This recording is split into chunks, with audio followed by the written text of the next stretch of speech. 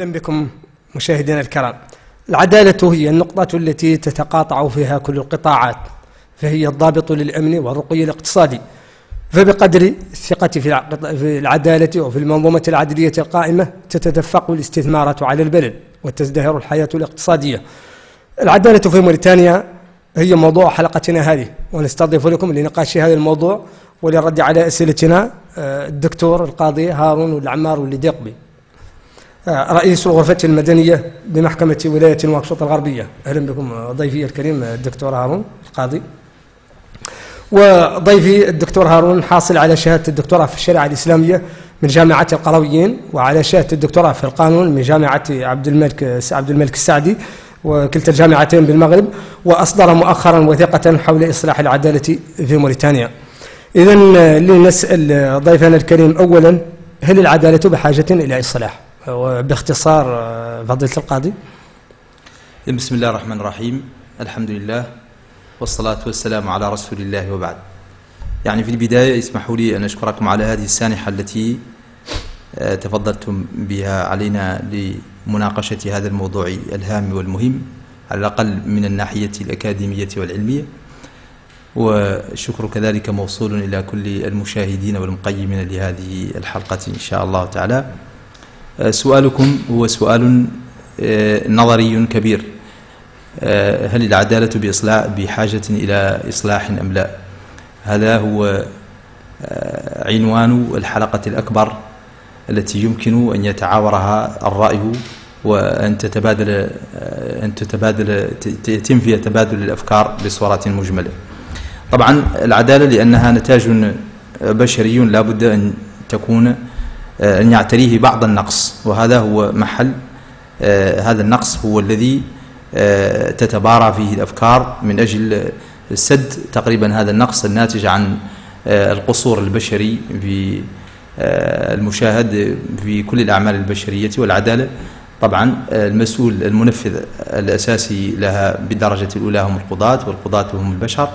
وكذلك الذين المسائل التي تطبق على الوقائع القانونية المدروسة نتاج بشري معين مثلا بالسلطة التشريعية وبالتالي لا بد أن يكون هناك خلل دائما. نقص دائما. اذا اذا عفوا الدكتور اختصار أين يكمن من وجهة نظركم؟ وقبل أن أعطيكم السؤال نحن أيضا نشكركم بوصف بوصف بوصفنا. أول قناة أول إعلامية على الأقل حره تستضيف قاضي موريتاني. وسنعود إلى موضوع علاقة القضاة بالإعلام لاحقا. ولكن قبل ذلك أين يكمن الخلل في المنظومة القضائية الموريتانية إذا كان هناك خلل؟ هل هو في النصوص؟ هل هو في التطبيق؟ هل هو في كليهما؟ آه، إذا كان آه، السؤال محددا بمكامن الخلل في المنظومة القضائية الموريتانية بعيدا عن التشخيص الذي يوقعنا على الأقل بالخروج عن مبدأ التحفظ آه، الملزم به كقاض. فإن هذه الاختلالات يمكن أن نراها على آه، كل على على بعض الميادين الأساسية. أولا على مستوى النصوص المطبقة آه، ثم بعد ذلك على مستوى الممارسة. ولكنها اختلالات بسيطة يمكن معالجتها في إطار البحث عن الأمثل من خلال هذه التطبيقات ومن خلال الممارسات القضائية. كأي قضاء في العالم لا بد أن يكون هناك خلل في من حيث من حيث التطبيق ومن حيث الممارسة ومن حيث آه، رضا المواطنين عن نتاج هذه هذه المنظومة القضائية المتشعبة والمتشابكة في نفس الوقت. القاضي إصلاح المنظومة القانونية الذي قلتم من بعض النصوص آه، لا يزال يعاني نقصه. آه، لو دخلنا في محور مثلا النصوص القانونية شنو هي أبرز النصوص التي ترون أنها بحاجة إلى إصلاح؟ نعم. النماذج مثلا لأن الوقت إذا انطلقنا من أن القانون أنا طبعا اطلعت على الوثيقة التي قدمتم بعنوان وثيقة لا من يهمه الأمر. نعم. ورأيت العديد من النصوص القانونية التي ذكرتم أنها بحاجة إلى مراجعة. نريد أمثلة فقط من أبرز هذه النصوص. إذا انطلقنا من أن القانون هو نتاج بشري وظل لواقعة معينة وهذه الواقعة متغيرة وهذه هي طبيعة القاعدة القانونية بصورة عامة فإن كل تقريبا عدم ارتباط هذه هذه القاعدة بهذا الواقع يشكل خلل معينا يقتضي تحيين هذه النصوص وتحديدها كلما سنحت الفرصة بذلك. هناك طبعا في موريتانيا بعض القوانين النصوص القانونية التي لم تتماشى مع الواقع بصورة بصورة بصورة واضحة وبصورة بينة. على سبيل المثال سنأخذ مثلا بعض القوانين التي آه، التي بحاجة إلى إلى تغيير على الأقل آه، في آه، ملح في نعم أنتم ذكرتم في الوثيقة من هذه النصوص مثلا النصوص المتعلقة بالقضايا العقارية بالضمان الاجتماعي بالتسخير القضائي. نعم. فهذه نقاط الثلاثة مثلا. نعم. نختصر. يعني هي الوثيقة تشخص بعض المسائل التي يمكن أن نرى لها حلولا. بحيث أنها تضع آه، تصورا معينا للمشكل ثم تقترح حلا على المدى البعيد أو على المدى القريب والمتوسط على الأقل. على مستوى في مستوى النصوص وهو تقريبا النقطة الثانية أو البند الثاني من هذه الوثيقة التي عنونتها بمقترحات إلى من يهم الأمر. آه، على الأقل موجودة بعض النصوص القديمة جدا التي لا تتماشى مع الواقع. على الأقل المعيش والتي تحتاج إلى تحيين تحيين في الوقت الراهن. مثلا على سبيل المثال من هذه آه، مثلا القوانين ما قانون الضمان الاجتماعي وهو قانون معروف قانون رقم 039 1967 هذا القانون تقريبا لم يسا لم يعني وصدر سنة 67 1967 هذا القانون تقريبا لا يساير طبيعة التغيير الذي حصل على المنظومة الاجتماعية بالبلد وبالتالي هو بحاجة إلى تغيير لا من حيث الاختصاص نتيجة لأنه يربط الاختصاص. لا يسايرها من حيث التطور الاجتماعي مثلا قصدكم ماذا للتوضيح؟ على سبيل المثال فيما يتعلق بالمعاشات معاشات التقاعد وفيما يتعلق بكثير من المسائل التي يخوض في هذا القانون التي هي مسائل تفصيلية. على سبيل المثال وقد تم تعديل بعضها أخيرا بما يتعلق بالمساواة ما بين آه، السن التقاعد عند الرجل والمرأة أو سن الاستفادة من هذا المعاش عند الرجل والمرأة. بالنسبة للرجل كان يحددها ب 60 سنة وبالنسبة للمرأة كان يحددها ب 55 سنة. وهذا تقريبا منافي لمبادئ الدولية لحقوق الإنسان التي تقول بالمساواة بين الرجل الموظف والمرأة الموظفة. يعني هذه يعني تقريبا آه، تم تعديله مؤخرا. ولكن هناك كثيرا من هناك كثير من من التقديرات الأساسية لهذا المعاش التعاقدي التقاعدي والتعويضات العائلية التي التي هي بحاجة إلى آه، إلى إلى تغييرها لتتماشى مع الواقع ولتتماشى مع المنظومة الاقتصادية للبلد. آه، إذا نظرنا إلى ما يسمى بالتحفيظ العقاري فعندنا مرسوم 1932 ما زالت المحاكم 1900 1932 1932 نعم وهو المرسوم مثلا الذي يعنى بالتحفيظ العقاري. وهو مرسوم استعماري مثلا يحكم إفريقيا الغربية بحاجة موريتانيا أن تحين هذا القانون أي أن تحين يعني هذا المرسوم هذا المرسوم ما زال عنده دور حالا وما زال عنده وجود؟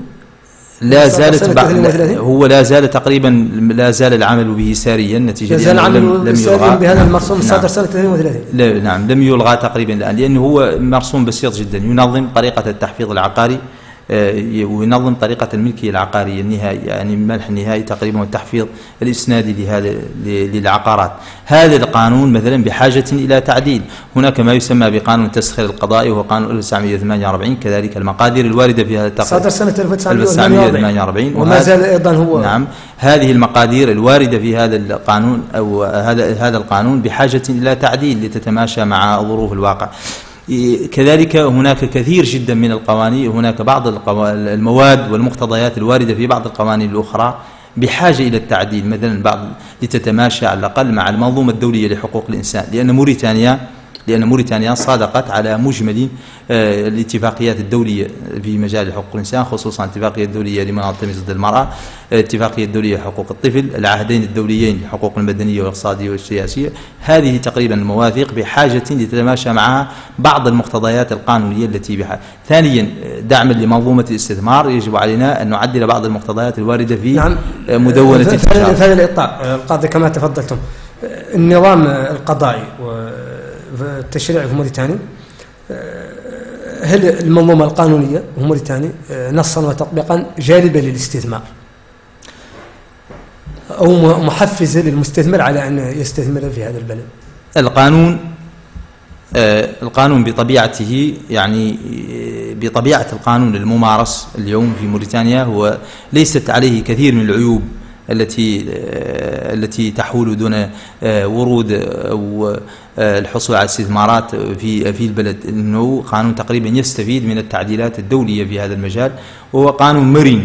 إلا أن القانون كعمل بشري بحاجة إلى تعديل كلما كانت المقتضيات تعرقل عملية معينة. وبالتالي التحيين المستمر عن طريق الدراسة وعن طريق الاحتياجات الضرورية التي يتطلبها المجتمع التي يتطلبها الاستثمار مثلا ضروري جدا لإعادة تكييف القانون والمنظومة القانونية مع متطلبات المجتمع. لا أقول القانون الموريتاني ضد الاستثمار ولا يدعم الاستثمار لا بالعكس. القانون الموريتاني ينظم ويفتح المجال واسعا للاستثمار. تبقى طبعا الممارسة الممارسة الممارسة القضائية الممارسة سواء الاستثمار الأجنبي الوافد أو الاستثمار المحلي. الاستثمار المحلي. تبقى الممارسة. الممارسة شيء آخر. الممارسة شيء آخر لأنها عمل بشري اجتهادي. آه، هذا العمل تكتسيه آه، بعض النواقص وبعض الإيجابيات. كأي عمل بشري معين. آه، ولكن الدكتور وأول مرة يظهر فيها قاضي في وسيلة إعلام حرة وأنتم معنا يلاحظ كيف يمكن نكي... لا يمكن أن يتم تكييف واجب التحفظ مع مع الظهور في الإعلام وإعطاء المعلومات للمواطنين المعلومات اللي ما هي أمام القضاء مثلا نعم. هذا هذا يتطلب مع يتطلب منا على الأقل الخوض قليلا في مبدا أو واجب التحفظ؟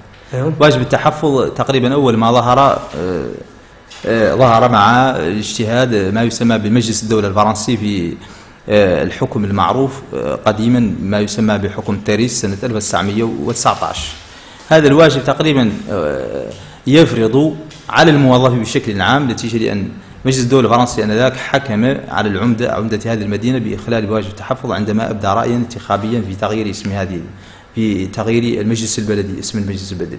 وبالتالي اعتبر المجلس الفرنسي آه هذا الشخص مثلا مخلا بالتحفظ. كان هذا أول ظهور تقريبا لمبدأ التحفظ.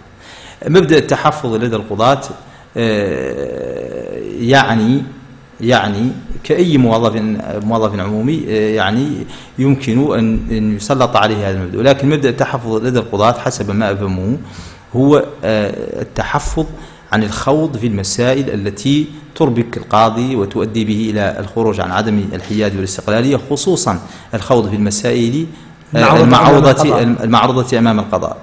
فإذا نظرنا مثلا إلى على سبيل المثال آه، المبادئ الدولية التي تكرس مبدأ استقلالية القضاء كمبدأ مثلا مبادئ المعروفة مبادئ ميلانو حول استقلالية القضاء ومبادئ بنغالور وهي مدينة بالهند معروفة كذلك تبحث عن مبادئ الشفافية واستقلال القضاء ومبادئ كذلك مونتريال كلها تعرف مبدأ التحفظ. مبدأ التحفظ لم يعرفه القانون آه، لم يعرفه القانون وإنما وجدت هذه المبادئ لتضبط مبدأ التحفظ حتى لا يخرج القاضي تقريبا عن مبدأ التحفظ. لكن مبدأ التحفظ في كل هذه المبادئ يعني ما يلي يعني الاحتراس والاحتفاظ والحيطة والحذر من أن لا يقع القاضي في الخوض في بعض القضايا المعروضة أمامه حتى لا يخرج عن الحياد والاستقلالية. ولكن كلما كان الظهور مثلا على سبيل المثال القضاء أو للقاضي لمناقشة مسألة علمية لمناقشة مسألة أدبية فنية أو أدبية أو ثقافية لا دخل للقضية المعروضة أمامه. هذا يعني لا حرج فيه. لا حرج فيه. نظرا لماذا؟ نظرا للإقرار آه، الدولة الموريتانية والإقرار الجمهورية الإسلامية الموريتانية بالمبادئ الدولية لحقوق الإنسان. وهذه المبادئ تكرس حق إبداء الرأي. طبعا مع الالتزام الكامل بأخلاقيات القاضي وبحياد القاضي وبشفافية القاضي. وبالتالي سؤالكم يعني آه، في محله هناك تحفظ وهو تحفظ يعني زائد. آه، لا تحفظ مقبول ومتقبل من طرف القضاة في التحفظ لا تلاحظون أن و... إفراط في التحفظ. لا لا لا ألاحظ أن هناك إفراطا في التحفظ بقدر ما ألاحظ أن هناك تعقلا في الظهور في وسائل الإعلام حتى لا تكون السلطة القضائية أو القضاة آه، أمام أنظار الجميع. نتيجة لأن القاضي يجب عليه أن يكون آه، بعيدا عن الأنظار متواريا عن هذه الأنظار. ولكن إذا تطلبت الحاجة العلمية والفنية والأكاديمية للظهور لمناقشة مسألة معينة لا مانع في ذلك. ولكن ولكن القاضي لا, لا توافقني الرأي أو توافق بعض الرأي في أن في أن استقلالية القاضي وهيبة القاضي تعني حكمه بالعدالة بالحق وصرامته في تطبيق أحكامه لا تعني ابتعاده عن آه، الأضواء إذا كان الحضور فيها ضروريا كنقاش علمي مثلا أنا أشاركك الرأي بأن الظهور لمناقشة مسألة علمية أو فكرية أو أدبية يعني لا يخل بواجب لا التحفظ. يخل لا يخل بواجب التحفظ ولكن آه، الظهور في كثير من المناسبات لمناقشة أمور عامة آه، قد تقريبا يؤدي بمجتمع كمجتمعنا. الحمد لله مجتمع منفتح ومجتمع آه، يعني متشابك ومتقارب جدا إلى أن تنزلق قدم القاضي مرة في الخوض في بعض المسائل التي لا يمكن آه، أن يسلم بها من من المحاور من المواضع المهمة دائما في موضوع العدالة في موريتانيا موضوع السجون وأنتم تعرضتم له آه، قضية السجون. خاصة فيما يتعلق بالتدابير الاحترازية وما يسمى بالسياسة الجنائية للدولة. طيب آه، نعم السجون هي النقطة الرابعة من هذا هذه الوثيقة التي بين أيدينا. نذكر أولا بأن السجن آه، كعقوبة. يقول عنها علماء ال- العلوم الجنائية الباحثون في العلوم الجنائية بأنها ترياق. هذا الترياق أعلن فشله نظرا لأن العقوبة السالبة في السالبة للحرية أو المقيدة للحرية أعلنت فشلها نظرا لفشل المسائل المتعلقة بالإصلاح والتأهيل. إذا السجن هو وسيلة وسيلة وسيلة للإصلاح. وبالتالي هو يجمع من منظور نتيجة نظرا للفلسفة العقابية التي ينطلقها من الفكر الوضعي آه، أن العقوبة تنقسم إلى قسمين هناك جزاء خلقي يعني أخلاقي كضريبة الإنسان عندما يحيد عن الصواب يجب عليه أن يتبع هذا وهناك وظيفة أخرى وقائية نفعية من هذه العقوبة. بينما إذا نظرنا إلى الشريعة الإسلامية فالشريعة الإسلامية تجمع بين كل هذا بين الجزاء الأخروي والجزاء الدنيوي وبالتالي يغيب عنا فيها آه، آه، ما يسمى بالعقوبة السالبة للحرية تقريبا. ولذلك ينتقد بعض ال- العقوبة السالبة للحرية اللي هي السجن السجن هي. السجن نعم. لذلك ينتقد بعض الفلاسفة الوضعيين على الشريعة الإسلامية اعتمادها على ما يسمى بالعقوبة البدنية ولكن انتقادهم ليس في محله نظرا لأن هذه العقوبة التي استحدثوها هم أي الفكر الوضعي أعلنت أعلنت بصورة مدوية فشلها لماذا؟ نتيجة لأن السجن يجب أن يكون مؤسسة إصلاح طبعا هناك كثير من المبادئ التي تحوط هذا السجن آه، ب- وبالانضباط حتى يكون مؤسسة إصلاحية بالدرجة الأولى. أي أن هذا إصلاحية آه، وتأهيلية تأهيلي يعني. أي أن هذا أن هذا الشخص مريض يحتاج إلى علاج أدخلناه للسجن لإعادة تأهيله وإصلاحه وإخراجه آه، للمجتمع تقريبا حتى يكون فردا صالحا للمجتمع. مثلا إذا نظرنا إلى المنتوج الدولي المنتوج الدولي في مجال حقوق الإنسان وحقوق السجين بصورة عامة خصوصا قواعد طوكيو المعروفة وكذلك القواعد النموذجية لمعاملة لمعاملة السجناء سنجد أن هذه القواعد تفرض نمطا معينا من التعامل مع السجناء. مثلا على سبيل المثال إفرادهم في وحدات على حسب التخصص مثلا سجناء في الحق العام هنا سجناء في المسائل التي ما زالت قيد البحث سجناء الحبس الاحتياطي في مكان آخر سجناء الأحداث في مكان آخر سجناء النساء في مكان آخر وهكذا. حتى يعني يمكن ضبط كل تقريبا شريحة من هذه الشرائح السجنية آه، وإعطائها العلاج المناسب. وبالتالي السجن عندما يكون منظما عندما يكون مدققا عندما يكون آه، وفق المعايير الدولية المعايير الدولية لمعاملة السجناء وخصوصا القواعد التي ذكرت القواعد الدولية إن قال القواعد النموذجية لمعاملة السجناء سنجد بأن عملية الإصلاح ستأتي أكلها ومن هنا أنا اقترحت في الوثيقة أن تكون هناك سجون متخصصة بمعنى ماذا؟ أن هناك سجون فلاحية سجون زراعية سجون معدنية يعني حتى تكون مثلا الس- السجون آه، وسيلة لإصلاح وسيلة. لإصلاح وتعليم النزلاء يعودوا الورشات. من فئة واحدة نعم مثلا على سبيل المثال. إذا قام شخص معين مثلا على سبيل المثال بجريمة ابتدائية يعني جريمة, مبتدئ فيها. مهندس مثلا على سبيل المثال وما يسمى بجرائم الياقات البيضاء. يعني هذا الشخص اللي هو وقع أو انزلق للجرائم بش- بشكل بشكل بشكل الصدفة فهمت؟ لا يمكن أن نعامله معاملة مثلا المجرم الم- المعتاد. يجب علينا أن نضعه في مكان معين وأن نستفيد من قدراته مثلا. وأن يكون مدخوله أن يكون المدخول المادي الذي يدر من هذا من هذه الخدمة مثلا في هذه السجون المتخصصة ويكون لديه نسبة ظروف العمل نعم لديه نسبة لديه نسبة. لديه نسبة من هذه من هذه من هذا المدخول يحصل عليها عندما يخرج وينهي محكوميته ليندمج في هذه آه، المنظومة الاجتماعية. ثانيا من من المسائل المهمة والضرورية حتى نكون أمام عملية إصلاح داخل السجون ضرورة ما يسمى بالإشراف القضائي أو بضرورة ما يسمى بالإشراف القضائي على هذه المؤسسة السجنية. في هذه النقطة في هذه النقطة أنتم تحدثتم عن ثغرة هنا في علاقة القضاء بالسجون. هل هناك ثغرة ما هي هذه الثغرة؟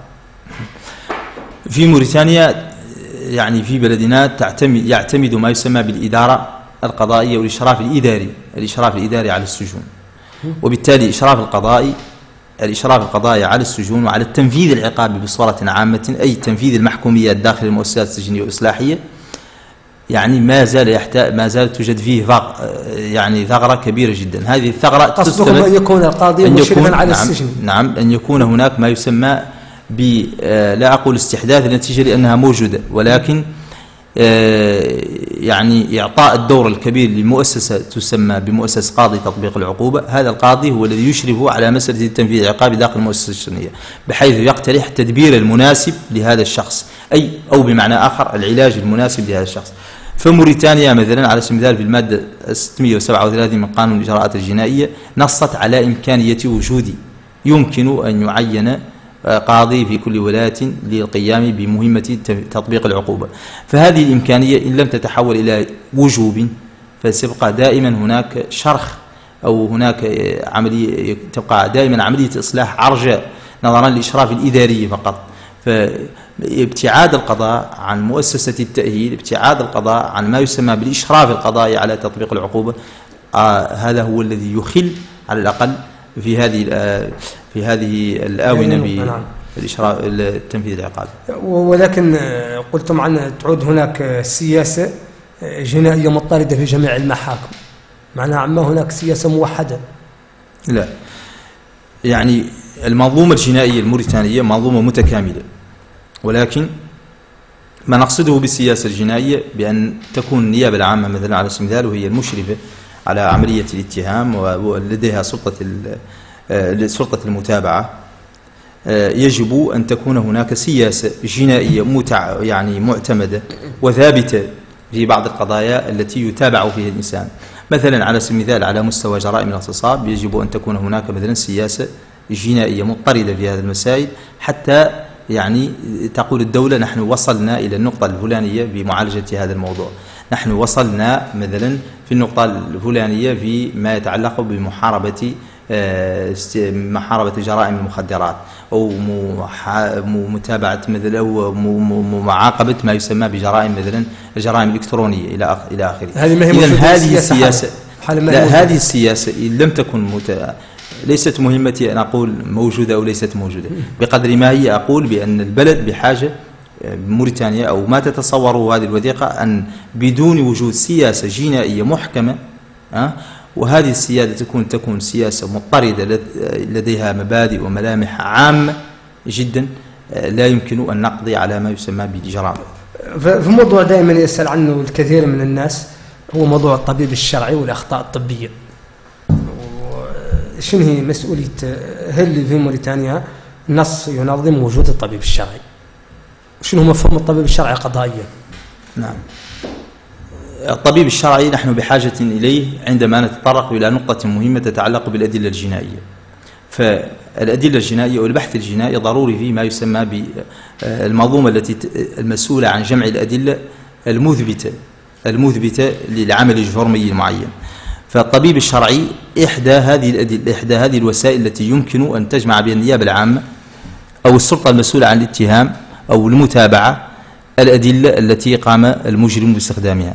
مثلا على سبيل المثال نعم موريتانيا مثلا تعتمد ما يسمى بالخبراء الطبيين ولكن اختصاص الطب الشرعي لم يكن لم يكن موجودا تقريبا في آه، المنظومة الطبية إلا في الآونة الأخيرة. الحمد لله أصبحت عندنا آه، أطباء متخصصين في المجال في مجال الطب الشرعي. نتيجه لأن الطب الشرعي ليس هو الطب العام. الطب الشرعي يعني الطبيب يجمع بين الفهم القانوني وبين التشخيص الطبي.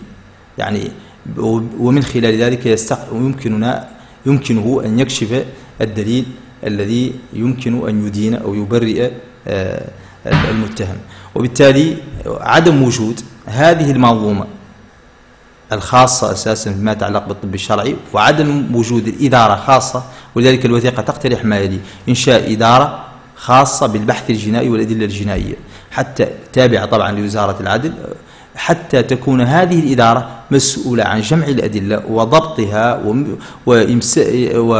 وتوفيرها للنيابة العامة وللضبطية القضائية المباشرة المباشرة عند الاقتضاء ولكن موضوع الأخطاء الطبية اللي يرتكب بعض الأطباء والله يقول بعض الناس عن يرتكبوه الأطباء هل مبوب عليه في القانون؟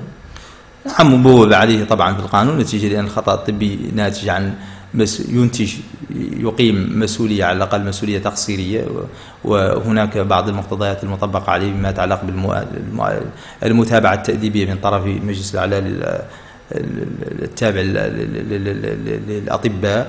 وهناك مقتضيات كذلك جنائية تعاقب فيما يتعلق بهذه المسائل.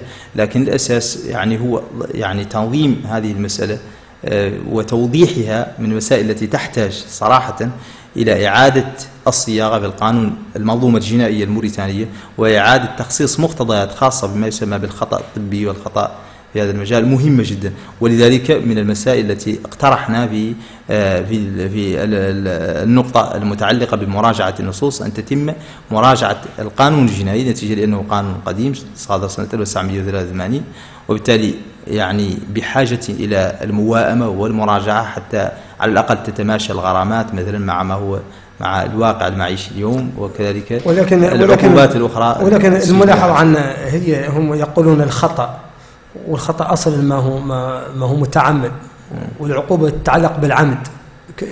كيف يمكن التوفيق بين هذا؟ نقول خطأ طبي وفي نفس الوقت عليه عقوبة. الخطأ بصورة عامة هو أساس أحد أركان ما يسمى بالمسؤولية التقصيرية. طبعا الخطأ يوجب تعويضا تعويضا تعويضا مدنيا تعويضا مدنيا ولكن يوجب كذلك عقوبة تأديبية. هذه العقوبة التأديبية آه، يسأل عنها الأطباء آه، الأطباء حسب يسأل عنها الأطباء حسب آه، المهنة الطبية. لكن هذا الخطأ عندما وقع يعني يعني أحدث ضررا معينا. هذا الضرر يجب جبره. طبعا هناك مقتضيات أخرى يكون معها الخطأ يعني وارد المتابعة الجنائية فيما إذا راجع عن المقتضيات الجنائية المتعلقة بهذا المجال. فدائما يكثر السؤال حول موضوع تقريب العدالة من المواطنين. وأنتم قلتم تقريب العدالة من المواطنين والمستثمرين. شنو المقترحات العملية اللي يمكن من خلالها آه، تقريب العدالة من المواطن من المستثمر؟ آه، نحن يعني في هذه النقطة بحثناها فيما يتعلق بتقريب آه، فيما يتعلق بالتنظيم القضائي. في حديثنا عن النقطة المتعلقة بالتنظيم القضائي قلنا بأن هذا التنظيم بحاجة إلى إعادة موائمة مع مع الواقع اليوم الواقع العملي اليوم الموجود فيه.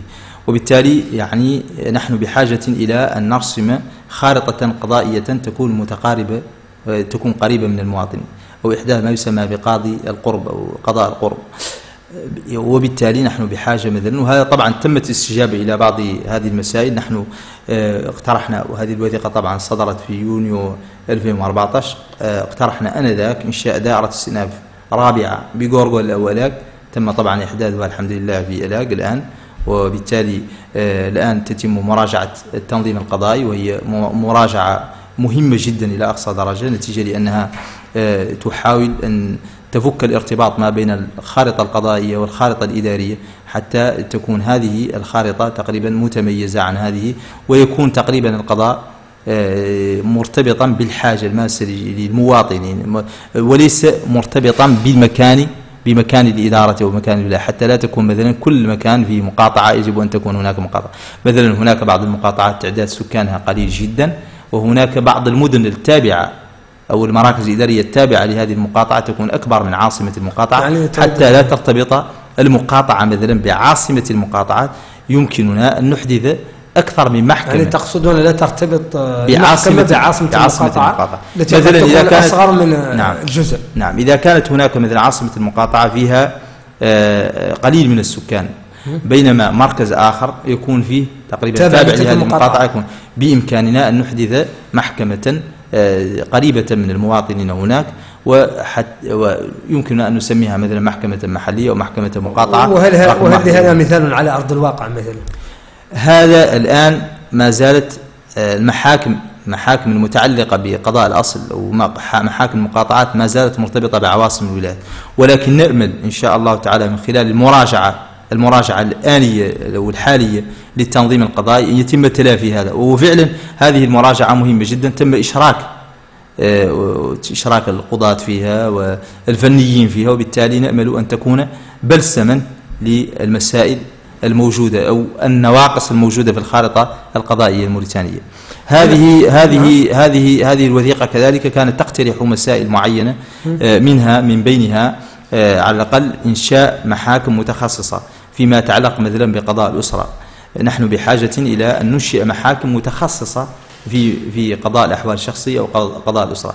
بحاجة كذلك أن ننشئ محاكم متخصصة في الفساد المالي أو بحاجة أن بحاجة كذلك أن ننشئ محاكم متخصصة في المسائل العقارية على الأقل في نواكشوط أو في نوادي الكبيرة وبالتالي خلق هذه المسائل سيقلل من حجم عمل المتراكم أو العمل المتزاحم في هذه المحاكم ويعطي تقريبا للمواطنين آه، فرصة كبيرة للاتصال المباشر بالقضاء عن طريق توسيع هذه الخارطة القضائية والمنشآت الإدارية في موريتانيا. على ذكر آه، هذه المحاكم وبنياتها وهالشيء هناك ما يسمى بالمصارف القضائية وعن ماذا تقصدون بالمصارف القضائية.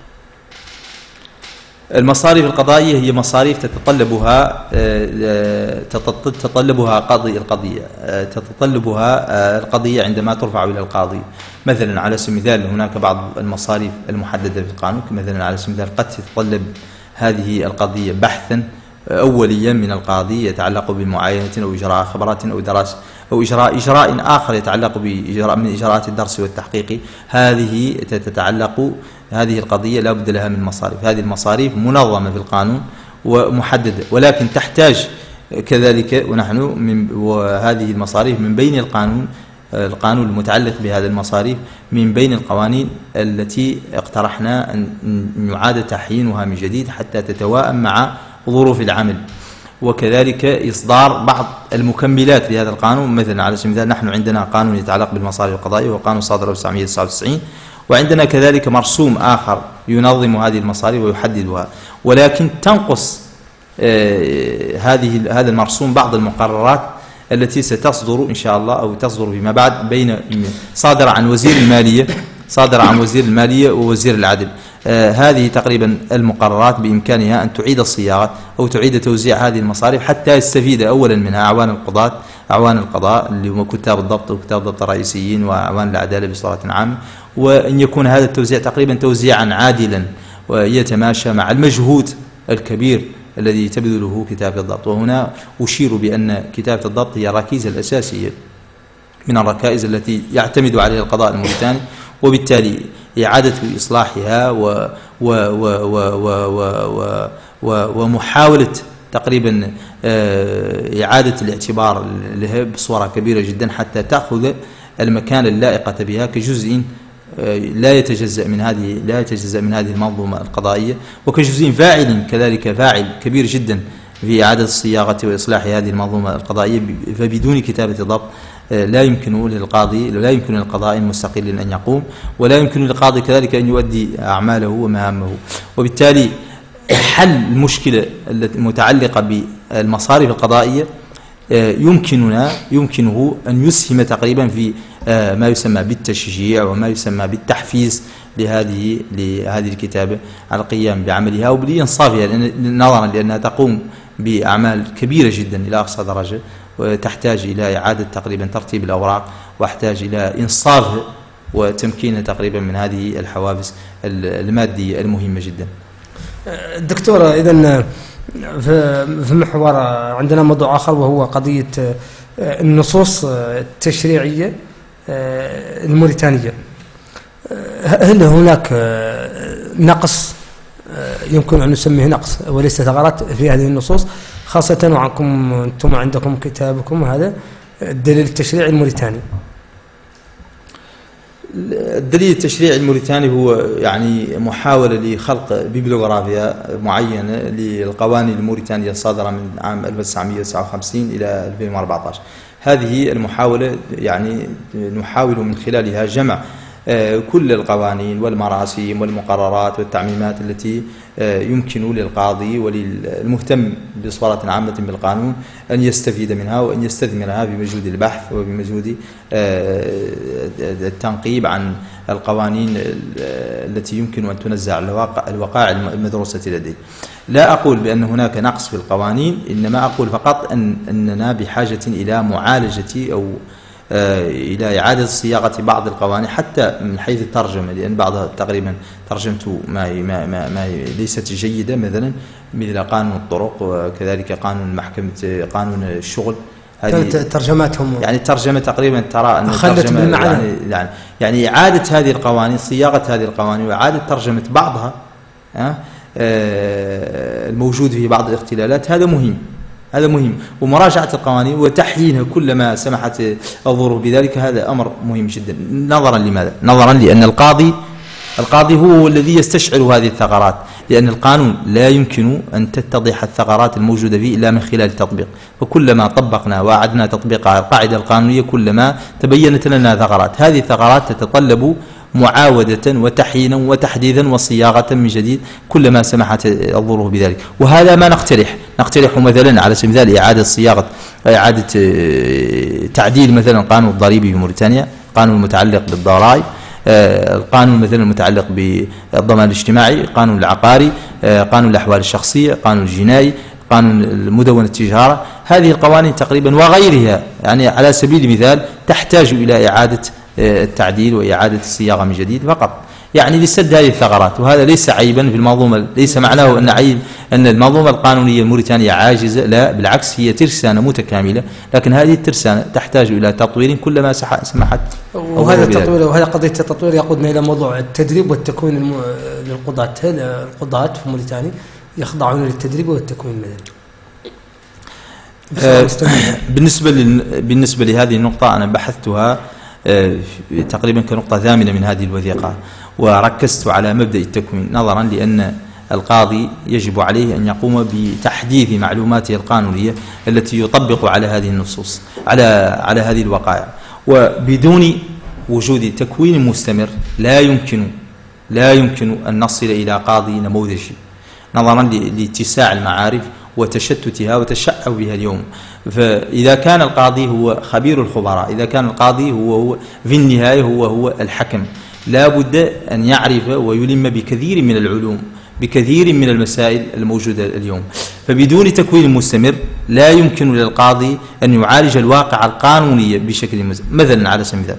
نحن مثلا عندنا بعض القوانين المهمة جدا لكن هذه القوانين لم تكن لم تكن في المنظومة التعليمية للبلد.